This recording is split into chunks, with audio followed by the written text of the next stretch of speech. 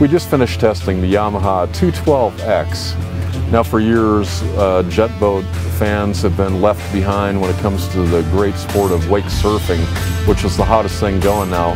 But with the 212X, you're in the game. One of the things that was hard for jet boats is to maintain a slow enough speed to be able to plow up a wake, even if you brought uh, ballast on your own. But uh, Yamaha has cruise assist, so you just get up to speed, punch a button, and it holds your speed steady, so that makes it really easy. It's powered by twin uh, Yamaha built 1.8 liter engines, and they're really small, so it saves a lot of space out back.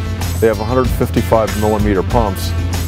We got on a plane in 2.4 seconds to 30 miles an hour in 4.5 seconds, and our top speed was 50.6 miles an hour. Let's head back to the dock and check out some of the features of this boat.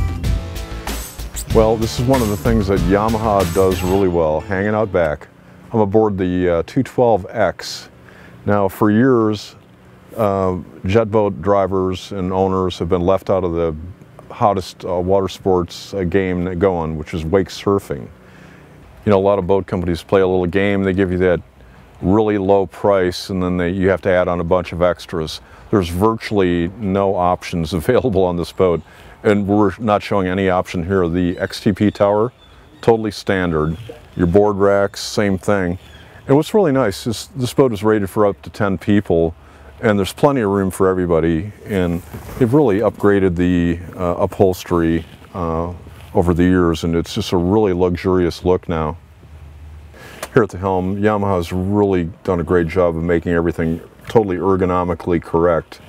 You got your throttles positioned perfectly. You have the Connext uh, dial here. You can uh, basically control any system on the boat, from ballast to music, uh, anything. Hit standard uh, rear view mirror here, it's really large. One of the cool things about the Yamahas, as I mentioned, is the low profile 1.8 liter engines, and here they are. Your mechanic's gonna love one thing about it. Look at the access you have.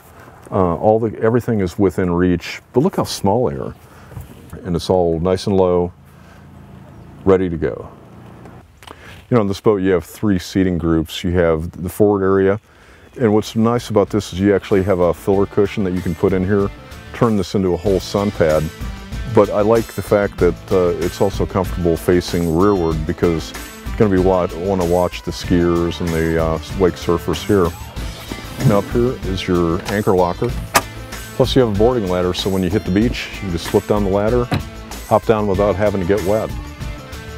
For more information on the Yamaha 212X and other great boats, go to boatingworld.com. I'm Alan Jones, and we'll see you out on the water.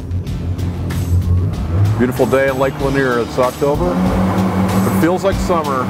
The endless summer with the endless wave.